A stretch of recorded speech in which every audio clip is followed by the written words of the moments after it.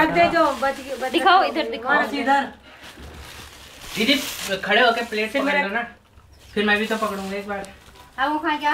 हाँ हम भी पकड़ के जाते हैं। सुबह से मुझे डालना है। मत अच्छा, कर। बिंदी सारी हम्म। ममता। क्या? अच्छा वो वाइफ सिगरेट पी रही है। हाँ, बीड़ी तो आई नहीं अब क्या करें? बीड़ी कहाँ से लाए नहीं क्लासी है क्लासी तेरे लिए तो बिल्कुल ये लागू मौसी नहीं जी एक मिनट। आटे का नहीं है। क्यों?